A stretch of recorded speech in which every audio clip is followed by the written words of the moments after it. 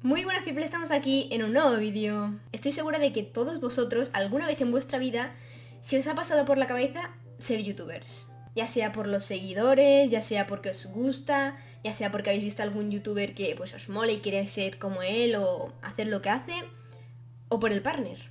Pero habéis tenido un pequeño fallo. Y ese fallo es algo que nos pasa a todo el mundo, que es el dinerito. Si no podéis compraros un ordenador o una cámara, un micrófono, todo lo necesario para YouTube, pero que lo había perdido. Pero tenéis esto.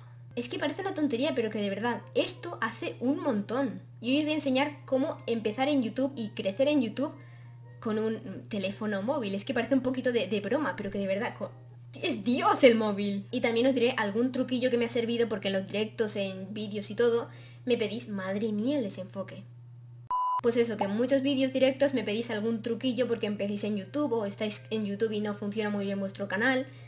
Algún truquillo os voy a ir diciendo para que pues podáis ir mejorando. También os digo que yo no estoy haciendo este vídeo en plan como soy la mejor del mundo, soy Dios, os voy a dar un truco definitivo para crecer en YouTube. No, básicamente os voy a enseñar un poquito a cómo funciona todo esto. De verdad, es que no me puedo concentrar teniendo los culitos de perro ahí puestos. Madre mía. Así que pues nada, vamos a empezar con lo más importante, tener YouTube en el móvil, porque si no tienes YouTube pues no puedes subir los vídeos y pues no puedes mirar tu canal y todo eso. Pero hoy en día todos los móviles tienen YouTube y si no pues os lo descargáis en el Play Store y ahí estaría. También hay una aplicación que muchos youtubers tienen que es Creator Studio. En esa aplicación puedes ver las estadísticas de tu canal, los vídeos, poner los vídeos en privado, en público, o sea, editar todo lo que serían ajustes de tu canal.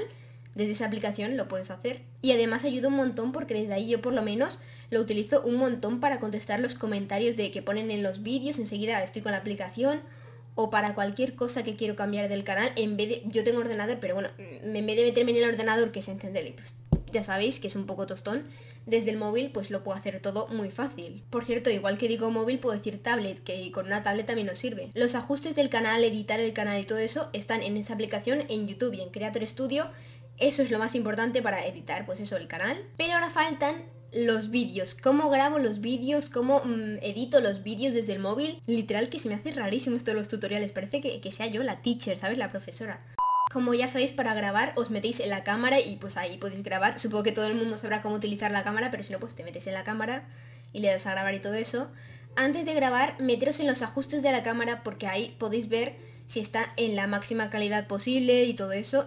Poneros porque a veces yo, por ejemplo, tenía la calidad mínima y podía subirla más y pues es una cosita que de nada que haces un clic y enseguida cambia un montón. Y muy importante os voy a dar un consejo, en vez de grabar con la cámara de aquí, que pues es lo típico, te pones así, te puedes ver a ti mientras te grabas, que es lo más fácil en plan modo blogging, poneros esta cámara porque es mucho mejor, siempre en todos los teléfonos esta cámara es mucho mejor y, y grabar en horizontal, por favor, en horizontal, no me grabéis así o me da un infartito. No, ahora en serio, grabar así porque si no...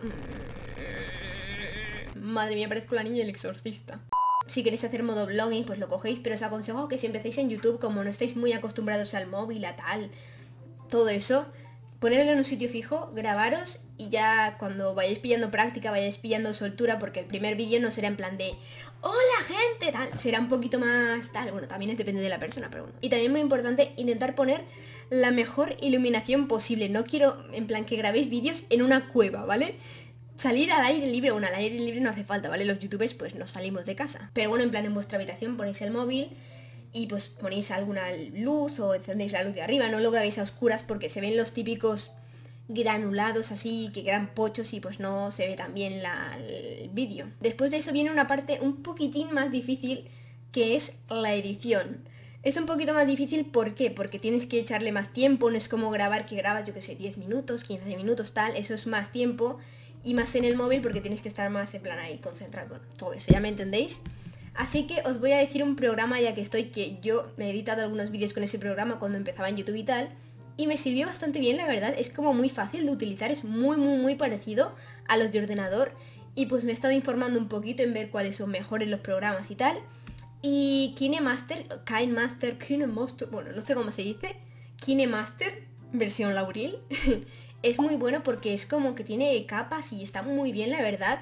Eh, si queréis algún día, pues puedo hacer un tutorial explicando cómo funciona y todo eso, o verlo en YouTube algún vídeo y todo eso. Y es de verdad que muy bueno. Parece que KineMaster me esté pagando, pero que de verdad que no me está pagando. Ojalá, ¿sabes? También tenéis que tener muy claro antes de crearos el canal de qué va a ir vuestro canal, en plan, cuál es vuestro... ¿Cuál va a ser vuestro contenido? Si vais a subir gameplay, vais a subir, yo qué sé, cualquier cosa. Eh, tenerlo muy claro y tampoco rayéis en el tema. Ay, no sé qué elegir, es que si elijo gameplays voy a tener que subir toda mi vida gameplays. No. Puedes subir gameplays y blogs o como te vayas, ¿vale? Ya depende de cada persona.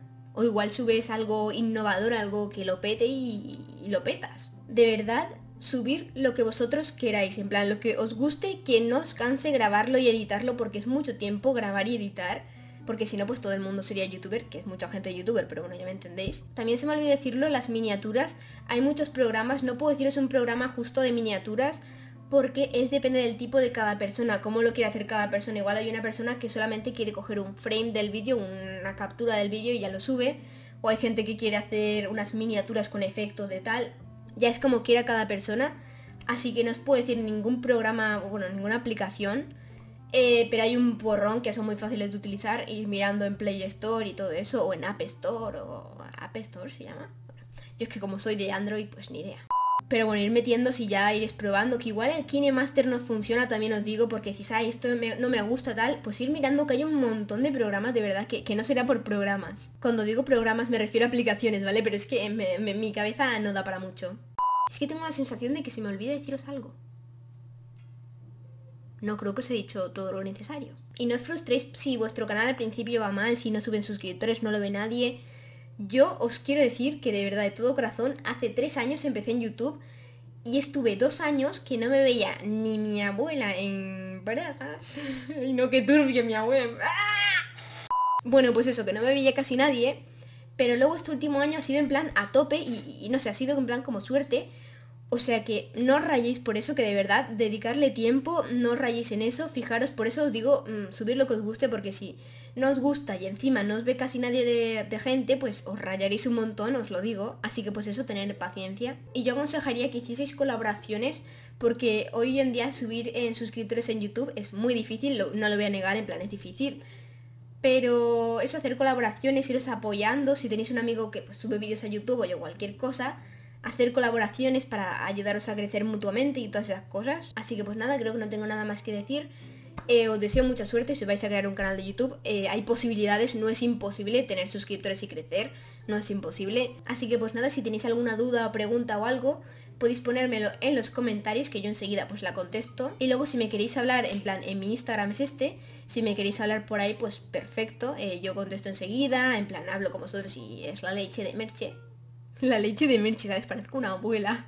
Así que pues eso, espero que os vaya bien en YouTube y que igual hay una persona que está viendo este vídeo y luego al mes que viene o al año que viene tiene un millón de suscriptores, ¿sabes? Ojalá, ¿sabes? Ojalá os deseo mucha suerte, en serio. Si os ha gustado este vídeo agradecería un buen like. Si sois nuevos en el canal y os mola mi contenido, os, yo qué sé, os caigo bien por lo menos, suscribiros que está aquí abajo el botón de suscribirse. Y si queréis ayudar al canal, apoyarle también a crecer, porque aquí todos somos una piña, pues podéis compartir este vídeo o el canal con vuestros amigos, que lo agradecería bastante. Así que pues nada, eso ha sido todo y adiós. ¡Uh!